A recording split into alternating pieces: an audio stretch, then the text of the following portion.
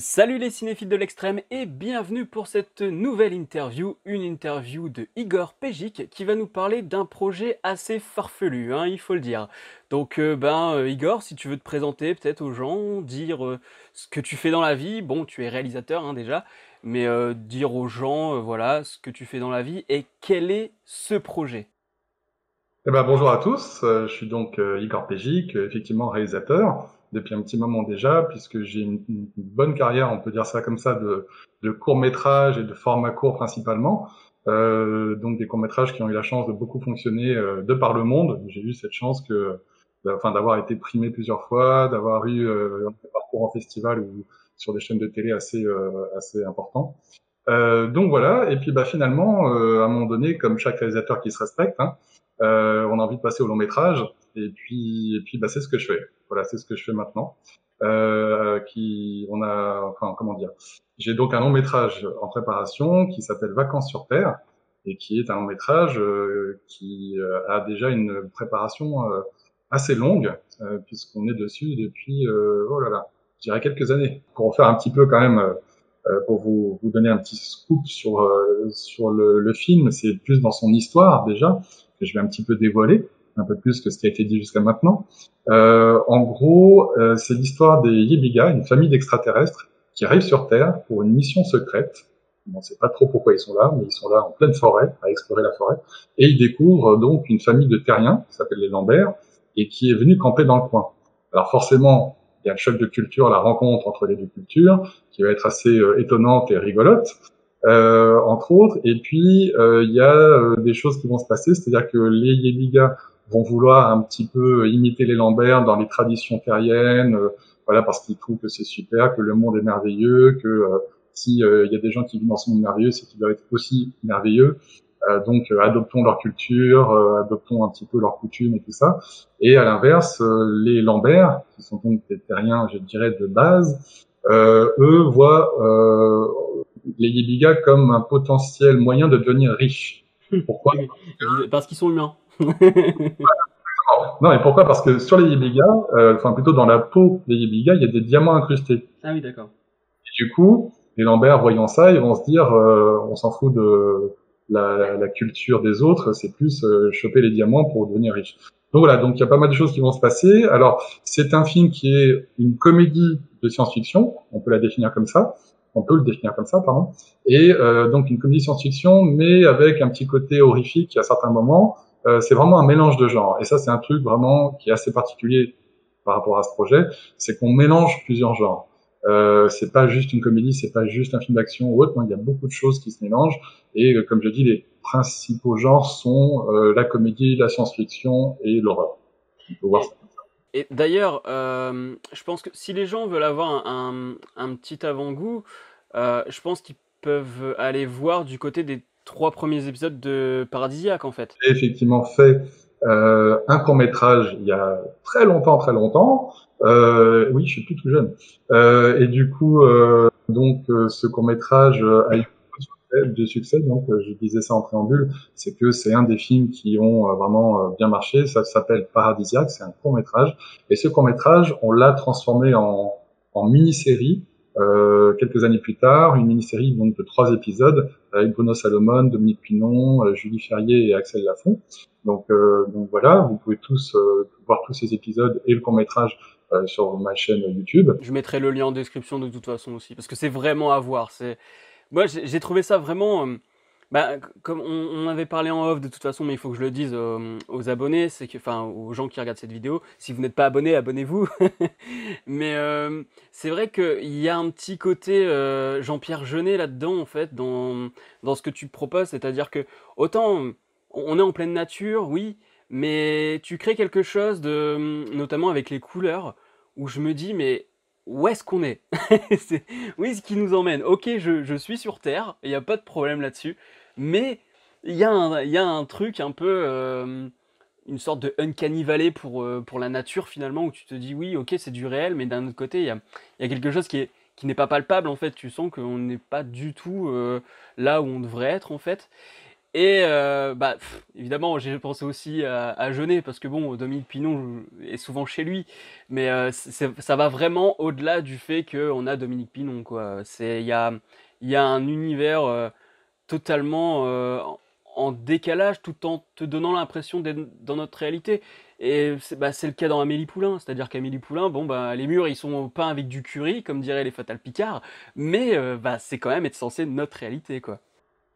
Ouais, ouais, tout à fait. Mais en fait, juste pour l'anecdote, euh, c'est euh, Genet qui a copié sur moi. Ah euh, bah oui, non, mais évidemment. Évidemment. Mais lui, il avait, des, il avait des connaissances dans, dans l'univers de la production, c'est pour ça. Voilà, voilà exactement. ouais, sur ce coup-là. Non, non, mais effectivement, il y a, y a, alors, je renie pas les influences de Genet, surtout sur la période, la période du début, euh, Délicatesse-Scène ou la Cité des Enfants Perdus. Euh, c'est vrai que dans le dossier de présentation du film, euh, il y a des influences aussi, euh, c'est le côté Spielberg, côté Tim Burton quand il fait Edouard Main d'argent. Euh, il y a un côté Star Trek aussi. Tout ça, ce sont des influences réelles hein, que je ne renie pas du tout. Bruno Salomon a d'ailleurs une tête de Klingon inversée. C'est-à-dire que il y a un petit côté Klingon sur le menton, quoi. Ouais, ça c'était une prothèse qui avait un petit peu glissé, donc. Euh, eh ben, ça, marche très bien quand même. Tu vois, je me suis dit il y a une référence à Star Trek du coup. ah voilà, exactement, c'était voulu. Voilà, c'était voulu. Donc, euh, donc voilà. Non, effectivement. Alors, le Vacances sur Terre, euh, le long métrage, c'est, on pourrait appeler ça un spin-off de Paradisiaque, en fait, puisque ça, ça va avoir effectivement un look assez similaire, en mieux, encore mieux, mmh. et euh, l'univers au niveau de euh, la tonalité, je dirais, entre un mélange de comédie et d'horreur ou voilà de surprise, c'est quelque chose qui sera également dans le long métrage. ça, c'est vraiment quelque chose que j'aime, c'est de surprendre des gens et de pas se dire tiens ok on voit les clichés hop ça va nous amener à ça et on n'aura pas de surprise en fait mon intérêt et en tant que spectateur avant tout hein, c'est quand je vois un film j'ai envie d'être surpris j'ai envie de me dire ah, tiens je sais pas où ça va aller et boum d'avoir un truc en disant waouh vraiment d'être surpris. Et aujourd'hui malheureusement je vois beaucoup de films beaucoup de séries et euh, souvent euh, on voit venir le truc du début euh, de la première seconde quoi c'est dommage. Mais même ta bande-annonce, finalement, euh, on est déjà dans cet esprit-là. C'est-à-dire qu'au début, tu as l'impression que tu pars sur euh, une sorte de romance ou quelque chose comme ça, et puis bah soudainement tu te dis oula, c'est c'est surprenant ce qui vient de se passer quoi. Et c'est vrai que ça laisse beaucoup de mystère et c'est bah ça fait plaisir, ça donne un peu de fraîcheur, tu vois. C'est c'est pour ça que je t'ai invité de toute façon. Hein. Sinon, si ça m'avait pas intéressé, je t'aurais pas dit de venir. Hein. Quand même aussi par rapport aux 500 euros que je t'ai donné en amont. Hein, ah non, mais il fallait pas dire ça. Ah pardon, désolé, désolé. je suis désolé. Donc, euh, bah oui, j'aime bien l'argent. J'aime en fait le, le, décalage. Voilà, je joue beaucoup sur ça. C'est vrai que l'humour décalé, euh, le truc un petit peu euh, les extrêmes qui se mélangent. Euh, voilà, je, je, suis un peu euh, chaud froid, chaud froid, et d'avoir ça un petit peu dans tout le film. Euh, c'est ce qui est prévu dans le long métrage, c'est que voilà, à un moment on va se dire euh, non c'est pas possible, puis après on va rigoler, puis après on va pleurer. Enfin, il y aura vraiment une succession d'émotions euh, tout le long du film, parce que là on est quand même sur un format long, donc là ce qui euh, n'était pas vraiment faisable en cours va pouvoir être faisable dans le long métrage, et, et, ça va être notamment faisable parce que je l'ai pas dit, parce mais c'est très important de le dire, on a une équipe de comédiens de fou. Ah, justement, oui, j'allais, j'allais y venir. Il faut le casting. Ah ouais, euh, franchement, là, on a vraiment. En plus, juste pour teaser un tout petit peu, pour que les gens, tu vois, ils disent, ouais, quoi? Pour les fans de Batman, vous allez être contents. Voilà, je n'en dis pas plus. Maintenant, je te laisse en parler du casting. ah bah écoute, donc euh, le casting, euh, il est au nombre de 8 personnes pour l'instant. Donc il y a deux enfants, dont ce sera les... le premier rôle qui, eux, habitent du côté du tournage, c'est-à-dire vers Toulouse, puisqu'on va tourner vers Toulouse. Euh, et donc au niveau des adultes, je dirais, euh, donc il y a Guillaume Claude Roussel que vous avez déjà vu euh, sur pas mal de séries ou même des longs métrages, puisqu'il avait joué un des rôles principaux du Nouveau, trois autres films assez importants. On a aussi Cindy Renou donc qui est une jeune comédienne qui elle fait beaucoup de théâtre, elle fait aussi beaucoup de chorale, de chant, enfin elle est assez euh, j'allais dire protéiforme, elle fait plein de choses, elle est très douée. Euh, il y a sa bande démo aussi sur le net, vous verrez ça, c'est super. Puis on a notre quatuor d'adultes, je, je, dirais. Mhm. Euh, on a donc euh, Romain Barreda qui fait beaucoup de stand-up, euh, qui est d'une valeur montante du stand-up. regardez sur le net, c'est hilarant ce qu'il fait. On parle de plus en plus de lui, hein, notamment hein, dans les, dans les, enfin pas les JT, mais tout ce qui est programme culturel, vite fait sur BFM ou ce genre de choses je connaissais pas, je le connaissais pas, et d'un coup, je dis, mais je, le vois un peu partout en ce moment, c'est, c'est marrant. Ouais, ouais, ouais. c'est vraiment une valeur montante, comme, comme, comme sont, j'irais tous, tous les, tous les comédiens de ce film-là. Sincèrement, le casting, euh, peut-être que vous le connaissez pas vraiment maintenant, mais attendez, dans les deux ans, trois ans, ça va exploser. Ils vont tous, à mon avis, ils sont très très talentueux. Sincèrement, je dis pas ça parce que euh, voilà, euh, parce que je les connais et que je les aime bien. D'ailleurs, non, je les aime pas si bien que ça. Non, non, je les aime. ils sont adorables humainement, mais au-delà de ça, c'est vraiment, on a déjà fait des répétitions, bon nombre de répétitions. Et à chaque fois, sincèrement, j'étais scotché en me disant wow. alors, je l'ai souvent gardé pour moi parce qu'il faut pas trop le montrer, mais euh, ouais, franchement, là, on a du, du talent à l'état pur et, et en quantité euh, sur tout le casting. Là, encore une fois, le projet, il est sous une bonne étoile. Euh, et du coup, euh, donc Romain euh, Barreda, qui, qui, qui, fait beaucoup de main en ce moment avec son nouveau spectacle qui s'appelle Simulation, que je conseille vivant. il y a donc aussi Joyce Franc-René, qui est une comédienne qui fait pas mal de théâtre aussi, de la télé, donc elle fait aussi un peu de pub, enfin elle a fait pas mal de choses. On a donc Masha Orlova, qui est aussi une comédienne qui a déjà beaucoup beaucoup tourné, euh, dans plein de choses, qui a monté des pièces de théâtre. Elle est elle-même aussi réalisatrice, euh, euh donc metteur en scène. Euh, elle, fait beaucoup de, de, de, choses. Elle a un théâtre également dans, dans, lequel elle, elle, fait venir des, des troupes, des compagnies théâtre ou des comédiens pour voilà des spectacles et tout ça. Donc Macha Orlova qui sera aussi donc une de nos adultes. Euh, et puis, euh, bah, le dernier de la liste, c'est Philippe Valmont, donc, connais pas, je connais pas, connais pas Philippe Valmont. Je sais pas qui c'est. Alors Philippe Valmont, bah, c'est en fait, euh, bah, comme tu le disais, la voix officielle, on va dire, de Christian Bale, et notamment euh, c'est lui qui a doublé les Batman, mhm. euh, de films avec Christian Bale, et puis bah, c'est un comédien aussi qui fait beaucoup de, qui a fait beaucoup de théâtre, qui a fait beaucoup de voilà de, la télé, plein de choses. Pareil, hein, ceux qui cherchent un peu sur internet trouveront facilement voilà le, le, parcours de Philippe. Donc, euh, donc voilà, donc toute cette troupe euh, de talents euh, est au, j'allais dire, s'est engagée sur Vacances sur Terre et je les en remercie vivement de mettre leur talent au service du film. Et, et aussi un mot quand même sur l'équipe technique. Euh, parce que elle démérite pas non plus. Ça, ouais, et c'est souvent, c'est souvent l'équipe technique dont on parle jamais, et c'est dommage parce que bon, ils font aussi partie du film, quoi. C'est pas parce qu'ils sont derrière l'écran que, enfin derrière la caméra qu'on les voit pas, quoi. Enfin, qu'ils sont pas utiles, c'est ça que je veux dire. Non, non, carrément, bah, bien au contraire. Ouais, bah oui. Ils sont essentiels. Et puis là, encore une fois, euh, euh, voilà, le projet a une chance incroyable d'avoir, euh, alors je ne vais pas tous les citer parce qu'ils sont plus de 30, mais d'avoir tous ces talents au service du film. Certains avec plus d'expérience, c'est pas grave. Même ceux qui sont, on va dire, jeunes dans la profession, moi, de ce que j'ai vu ou de ce qui m'ont, de ce, de la façon dont ils voient le travail, dans, voilà, de, des réunions qu'on a déjà eu autour de euh, de la préparation du film et tout ça, c'est super. Je suis vraiment en totale confiance avec l'équipe, qu'elle soit technique ou artistique. Et du coup, je dirais que euh, la seule chose réellement qui nous manque, parce qu'en plus de ça, le projet a bien avancé, on a tous les repérages ont été faits, on a tous les décors, les lieux, on a voilà, on est en cours de fabrication des accessoires, de la déco, des costumes, etc., etc. Euh, mais encore une fois, euh, bah, il faut en revenir toujours à la même chose, c'est qu'il manque encore un peu de sous pour pouvoir viabiliser le projet, qui se fasse, on va dire, dans les conditions entre guillemets euh, correct. Euh, et bah, ça, ça passe encore une fois par financement participatif. Shut up and take my money. Euh, donc oui, je mettrai en description le, lien pour, pour aider financièrement. Donc c'est sur Hello Asso, hein, c'est ça hein Sur Hello Asso, c'est un financement participatif avec des contreparties super sympas. Vous verrez ça dans la liste des contreparties. Et alors euh, oui, effectivement. Alors avant d'en venir peut-être juste sur euh, cette notion financière. Oui, bien sûr, le présenter un petit peu aussi, oui. voilà, voilà, juste faire une petite présentation effectivement du projet et du et surtout des conditions dans lesquelles on fait ce projet. Alors en fait, euh, comme je disais, ça fait quelques années que j'ai écrit un scénario donc qui s'appelle Vacances sur Terre, que je destine à être mon premier long métrage.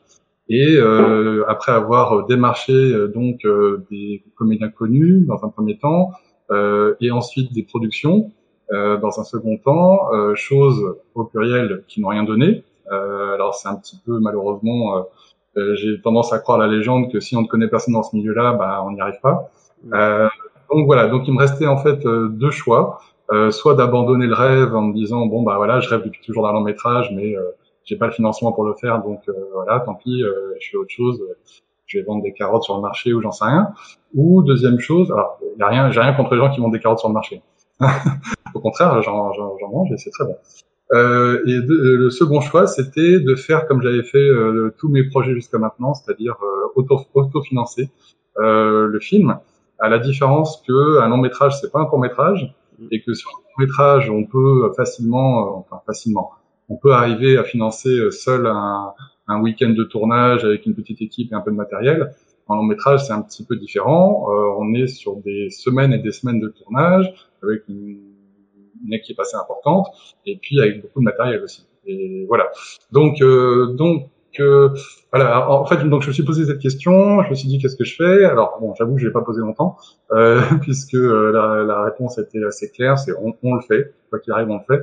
Euh, pourquoi? Parce que euh, j'ai la chance d'avoir donc un, scénario qui ne demande pas beaucoup d'argent, pas beaucoup de moyens, sans rogner sur les ambitions. Hein. C'est-à-dire que vraiment, en gros, l'histoire euh, ne demande pas 500 millions de dollars. Euh, ça peut se faire pour pas cher du tout. Et en fait, euh, qu'est-ce qui coûte cher sur un film? Surtout, c'est l'équipe. Dans un premier temps, l'équipe et les charges sociales. là, en fait, ce qui se passe, c'est que tous les gens qui ont été engagés sur le film sont devenus, c'est le deal, coproducteurs du projet. C'est-à-dire qu'en fait, chacun a une part du gâteau. C'est-à-dire personne ne prend rien tant que on, tourne.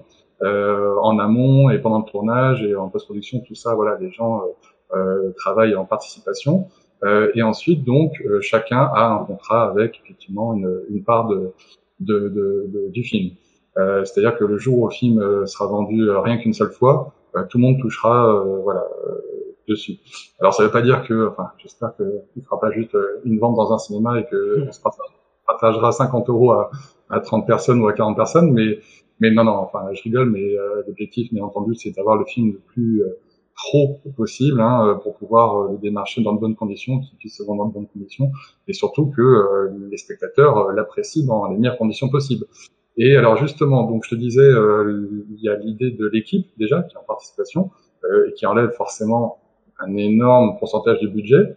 Et il y a ensuite tout ce qui est matériel notamment. Alors là, j'ai de la chance aussi parce que j'ai des amis qui, euh, alors j'ai pas d'amis en production et pas trop dans les comédiens connus, mais euh, pas mal au niveau des techniciens. Et ça me sauve sur ce projet parce que euh, bah, j'ai euh, voilà une boîte de post-production qui va s'occuper du film. j'ai aussi des gens qui nous prêtent du matériel en tant que voilà caméra ou éclairage, voilà. Il y a des gens qui ont rejoint le projet aussi, qui ont du matériel avec eux. Je pense au Steadicammer, à l'ingé son, et qui mettent leur matériel en participation aussi. Mmh. Donc, on a un vrai engouement autour du projet et ça c'est absolument extraordinaire. Euh, un engouement euh, parce que les gens euh, sont vraiment fédérés par euh, l'histoire, par le scénario qu'ils aiment, hein, franchement. Alors je, je, je, je, me jette pas de fleurs. Ce projet est entouré vraiment. Euh, enfin, il y a une bonne étoile qui veille sur ce projet depuis le mm. début. On a vraiment beaucoup de bonnes surprises sur le chemin. Alors c'est un chemin qu'on a réellement commencé il y a deux ans concrètement au niveau de la pré-production. Donc ça fait déjà deux ans qu'on travaille dessus en préparation. Et alors euh, ça a été repoussé une fois à cause du coronavirus parce qu'on devait tourner cette année. Donc euh, bah, merci hein, Corona. Et puis euh, du coup, bah, ce sera pour le printemps prochain. Donc on tourne en mai et en juin prochain pendant sept semaines normalement. Et puis donc alors le oui donc voilà tout ça pour dire que on a effectivement beaucoup d'aide depuis le début sur ce projet et c'est pour ça qu'il est rendu possible. C'est pour ça qu'on va pouvoir euh, réaliser un film qui est vraiment ambitieux, très ambitieux, et qu'on va avoir les moyens de notre ambition, si ce n'est qu'il nous faut quand même un petit peu effectivement de, de sous, de cash, pour pouvoir transporter l'équipe, les faire manger, euh, etc., etc., un peu de maquillage, un peu de déco et, et compagnie, et que ça, on essaye de récupérer effectivement 40 000 euros euh, par un financement participatif auquel, euh, bien sûr, tous les chers abonnés sont conviés. Euh, voilà, évidemment. D'ailleurs, les, les, gens qui potentiellement ne, pourraient pas euh, financer, euh, au moins partager le projet, quoi. Parce que vraiment, le, partage, si vous partagez le projet au moins à 10 personnes, sur les 10 personnes, il y en aura peut-être au moins une qui sera intéressée par ça, en fait, et qui aura les moyens aussi de financer. Donc, n'hésitez pas à partager le projet, c'est super important. Bah, ce, serait, ce serait effectivement super sympa. Euh, la, difficulté, la difficulté de ce genre de projet perso, parce que c'est considéré comme ça, c'est qu'on fait tout nous-mêmes, et je vous avoue les journées sont longues, il n'y a pas de week-end, il n'y a pas de vacances, on est à fond dessus et comme je dis depuis des années. Euh, donc voilà, si on peut avoir un peu de soutien, euh, c'est vraiment euh, génial et adorable. Et en plus de ça, comme je disais aussi, il y a beaucoup de contreparties intéressantes. Et par exemple, rien que pour 10 euros, vous verrez film en VOD à la maison avec toute la famille. voilà, pour 10 euros, c'est même mieux que Disney+. Et j'avais une petite question parce que tu disais que le tournage, si tout se passe bien évidemment, ce serait en mai-juin, c'est ça? Oui. Et du coup, parce que j'ai remarqué, évidemment, hein, je parle toujours, je vais toujours faire le, le parallèle avec Paradisiaque parce que bah, c'est la chose sur laquelle moi je peux me baser visuellement. Et du coup, ça par contre, tu l'avais filmé à l'automne, Paradisiaque? Alors, le court métrage a été fait au mois de juillet. Ouais. Euh, fin, juillet, euh, 30, 30, 31, je crois. Euh, et puis, effectivement, euh, les, les trois épisodes de la série ont été faits à la mi-octobre. D'accord. Et du coup, est-ce que, euh, est-ce que pour toi, euh, le fait que ce soit pas la même saison, ça, ça va changer ton point de vue sur certains, certaines choses d'un point de vue esthétique, tu vois? Alors, ça va optimiser mm, le l'esthétisme. Tu vas beaucoup plus jouer sur les couleurs, du coup, c'est ça? Voilà, voilà. En fait, pourquoi on tourne en mai et en juin? Tout simplement parce que c'est le printemps et c'est là où la nature est vraiment optimale. Mm. Où il y a toutes les couleurs possibles, la lumière est vraiment la, plus belle. Enfin voilà, c'est la saison qu'il nous faut et c'est pour ça qu'on a dû décaler non pas de quelques mois, mais vraiment d'un an, parce qu'il faut qu'on tourne pendant le, printemps. D'accord. Je, je, m'en doutais, je m'en doutais parce que je me suis dit, c'est vrai que même s'il y a euh, le, le, côté automne, bon, il donne un, un côté glauque, mais je me dis que tu joues beaucoup, notamment euh, euh, dans l'épisode avec euh, Bruno Salomon, tu joues beaucoup sur les fruits et sur leurs couleurs, et puis les, légumes évidemment. Et je me suis dit, à mon avis, je, sens bien que oui, il faut faire une autre saison où c'est beaucoup plus coloré, parce que je sens que tu, veux une richesse dans, la couleur. C'est un vrai parti pris, en fait, la nature a un rôle vraiment déterminant dans le film, d'autant plus dans le long métrage. parce qu'il y a vraiment une relation très très profonde entre le peuple extraterrestre et la nature. Euh, donc vous verrez ça. Et puis euh, il y a également un travail qui énorme qui va être fait sur l'image en termes, euh, voilà, d'effets spéciaux déjà. Oui, il y en aura beaucoup, beaucoup d'effets spéciaux, mais il y aura surtout un travail au niveau de la couleur, du contraste, de toutes ces choses-là, donc l'étalonnage, euh, qui sera euh, vraiment travaillé pendant tout le film. Je vous dis pas dans quel sens, parce que ça fait partie un petit peu aussi des ambiances que je veux installer et des, du mélange des genres. Voilà. Euh, mais euh, mais il y aura, c'est un vrai travail qui est prévu euh, déjà depuis depuis l'écriture en vérité. Et, et, comme tu parles de, de films de genre, évidemment on parle de cinéma, mais euh, bon je sais pas si c'est une question qui fâche ou pas, mais aujourd'hui le film de genre globalement en France, bon j'ai l'impression qu'il y en a un qui sort tous les 5-6 ans, en tout cas de, de, ce qui est fortement communiqué. Euh, c'est-à-dire que bon, on a eu Grave. D'ailleurs, on s'attendait pas à ce qu'il fasse autant de bruit ce film, mais globalement, les films de genre, il y en a pas tant que ça. Et euh, du coup, je me, pose une question parce que euh, un endroit où le film de genre, pour le coup, est plutôt mis en avant ces derniers mois, c'est Netflix. Et est-ce que tu vois vraiment le film uniquement pour une sortie ciné ou est-ce que éventuellement, si tu as Netflix, Prime ou quoi, qui te ou même Shadows, parce que c'est vrai que Shadows en fait, euh, ça pourrait rentrer là-dedans en fait quand j'y pense. Euh, est-ce que euh, t'es pas, est-ce que t'es pas fermé à la proposition en fait de, de, la SVOD en fait ou de la VOD Alors clairement non, je suis pas fermé à la proposition VOD, SVOD, enfin voilà quelque part que ce soit. Bien entendu, lorsqu'on fait, alors le film est conçu vraiment comme un film de cinéma, c'est-à-dire qu'il sera il sera en 2.35 au niveau du cadre, du mm. format. Euh, et euh, vraiment, il va, l'image sera travaillée pour être vue sur grand écran. Ça veut dire que euh, les cadrages, les valeurs de plan, euh, toutes ces choses-là seront étudiées pour le voir vraiment sur un grand, grand écran. Après, bien entendu, aujourd'hui, dans un monde où les choses bougent beaucoup. On est dans un monde où apparemment, bah, on ne sait même pas si les cinémas vont tenir debout encore si ça continue comme ça. Euh, enfin bon, voilà. Euh, l'essentiel pour moi, c'est que le film soit vu euh, et, et, bien sûr apprécié. oui, mais voilà, qu'il soit vu par le, par le plus grand nombre. Hein. Quand on fait un film, c'est juste, c'est pas juste pour voir en famille. sinon, ça s'appelle film de famille, et là, c'est pas du tout le cas. donc, donc voilà. Et ce, ce long métrage, alors voilà, je dirais que c'est, il y a un petit peu des fois aussi un faux débat sur une chose, c'est que beaucoup de gens aujourd'hui dans les pays euh, occidentaux, on va dire dans les pays riches, en tout cas, euh, ont des grands écrans, mais vraiment des grands écrans, que ce soit des grands écrans euh, LED, plasma, ou même des vidéoprojecteurs avec, voilà, moi j'ai plusieurs personnes autour de moi qui ont vraiment des grands écrans. et du coup, quelquefois, lorsqu'on voit, alors c'est un petit peu moins vrai maintenant, parce que les cinémas se sont un petit peu rééquipés, mais il y a quelques salles de cinéma encore en province, hein, où les écrans, à la limite, on va même le voir chez soi parce que l'écran est plus grand. En tout cas, ça m'est déjà arrivé une ou deux fois. Voilà. Donc, donc voilà. Donc cinéma, pas cinéma. Je dirais surtout ce qui compte pour le coup, c'est la taille et la taille de l'écran. Après, il y a, y a, quand même une problématique avec une télé. Euh, ou même un, rétroprojecteur finalement, c'est que comme toi justement tu veux vraiment euh, beaucoup travailler sur les contrastes et tout, ben, selon comment est réglée la télé du gars, ah, il va pas avoir exactement ce que toi tu voulais proposer, je pense, tu vois. Ouais, d'accord. C'est un, peu vrai au cinéma aussi, hein. c'est-à-dire que les salles de ciné sont pas réglées pareil. Ouais. Euh, si les DCP, c'est-à-dire les, les, disques durs, les, supports sur lesquels sont, fait, sont, sont amenés les films en salle, sont, je dirais, codés d'une certaine façon mais euh, ça dépend de la lampe du vidéoprojecteur, ça dépend de l'étalonnage du vidéoprojecteur. Donc il y a plein de choses qui font que euh, même en salle, en fait, on a des différences d'une salle à l'autre parce que mm. bah, donc euh, donc non non c'est il y a, y a en, plus de ça, je dirais que euh, l'étalonnage même du télé d'une télé à une autre ou d'une salle de ciné à une autre, effectivement il y aura toujours des petites différences. Même nous quand on fait quand on est en post-production et qu'on travaille sur un étalonnage on a un écran, ce qu'on appelle un écran étalonné pour avoir les, couleurs réelles, vraiment de ce qu'on veut.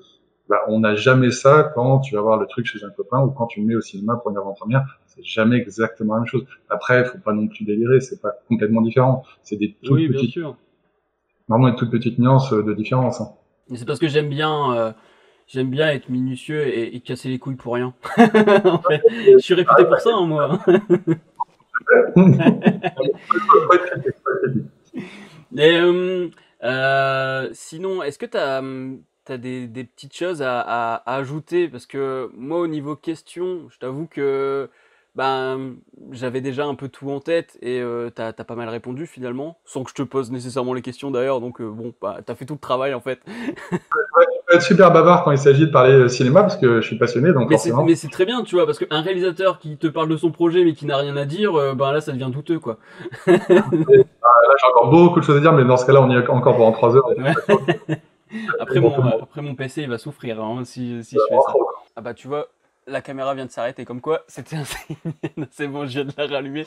Donc oui, est-ce que tu as quelque chose à ajouter sur, euh, sur le film? Est-ce qu'il y a des, des, petites choses que tu voudrais ajouter pour, euh, pour vraiment dire aux gens, ben voilà ce que vous allez voir exactement euh, sans, en dire trop, parce que bon, évidemment qu'il faut garder la, la, surprise, quoi.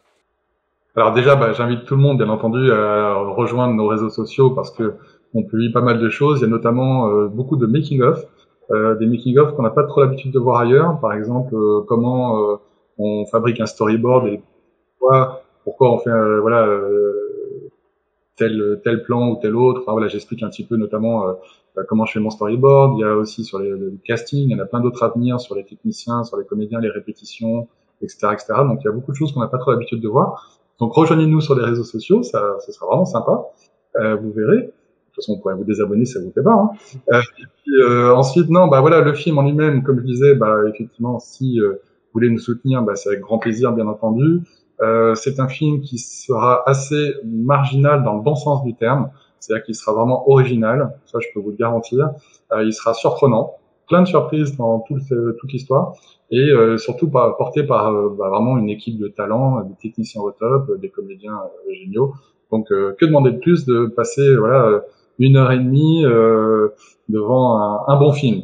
C'est ce qu'on va en tout cas essayer de faire vraiment euh, pour le plaisir de tous. Bon, et puis je, je ne veux pas faire de favoritisme, mais là je vais toucher et je vais essayer de toucher la corde sensible euh, de beaucoup d'abonnés qui aiment les films de super-héros. Il y a Philippe Valmont, voilà. Il y a Philippe Valmont, donc de toute façon, il faut que ça se fasse. Parce que Philippe Valmont, on le voit pas souvent en plus.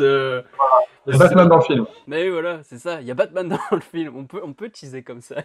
Le titre de la vidéo, ce sera Il y a Batman dans le film. Voilà. bah, écoute, euh, Igor, euh, bah, je te remercie. Franchement, ça fait plaisir ah, d'avoir un, réalisateur qui, qui, parle de son projet. En plus, un projet qui n'est même pas encore fait, ça veut dire que j'ai un peu l'exclusivité, tu vois. Exactement. Tout à fait. Eh ben, on reviendra un petit peu te voir euh, à l'occasion pour euh, te donner des nouvelles, par ah, exemple. totalement, totalement. Si, euh, si tu veux revenir pour, pour dire où ça en est et tout. notamment en plus, ben, s'il y a certaines personnes qui, qui s'intéressent au projet, ben, ce serait pas mal justement qu'elles en sachent un peu plus. Donc ouais, ouais, carrément, carrément. Moi je suis, moi, je suis totalement pour. Donc Igor, encore merci. vacances sur Terre, il y a encore... Alors, au moment où on enregistre la vidéo, il y a encore, encore un petit mois pour, euh, pour financer, si je dis pas de bêtises. 28 euh, jours, je crois. Donc, octobre. Ouais, donc voilà, ils disaient maniez-vous, voilà, dépêchez-vous. Et puis surtout, n'hésitez pas euh, à partager le projet, vraiment, il faut en parler autour de vous. Parce qu'on sait bien que tout le monde n'a pas les finances pour, euh, participer, mais euh, vous pouvez participer à votre manière juste en communiquant sur le projet. Je, pense à, Yann, Yann Dan, je sais pas si tu es au courant. c'est un, réalisateur qui, qui, voulait faire un film il y a quelques années avec Daniel Auteuil. Et le film ne s'est jamais fait. Et là, je ne sais pas ce qui se passe. Il y a quelqu'un qui en a parlé quelque part sur le web et ça a explosé. Tout le monde en parle. Et donc, c'est peut-être un film qu'on va finalement voir. Voilà, parce que euh, je sais pas, le, truc est sorti des cartons et, Yann, euh, et Yann est sur les réseaux sociaux, il martèle comme un dingue en parlant du film. Donc euh, voilà, bah, voilà, et c'est ce qu'il faut, c'est ce qu'il faut pour Vacances sur Terre. C'est que tout le monde en parle pour que tout le monde soit au courant que ce film peut exister, quoi. Donc euh, voilà, je ne sais pas si tu as quelque chose à ajouter. Bah, si ce n'est un grand merci d'avance à tous ceux qui nous soutiendront. Euh, mais sinon, en tout cas, merci à toi Morgan pour ce que tu fais, encore une fois. Super chaîne. Et puis, bah, je dis en tout cas à bientôt à tout le monde, voilà, que ce soit sur le petit ou le grand écran.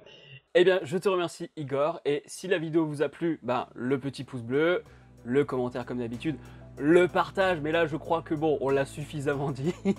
Partagez un max le projet et cette vidéo, enfin cette interview, parce que justement on en dit un peu plus de ce qu'il y a euh, sur, euh, euh, notamment la, page de Hello Asso. Je pense que là il y a eu des petites, des petites choses qui n'ont pas été dites ailleurs.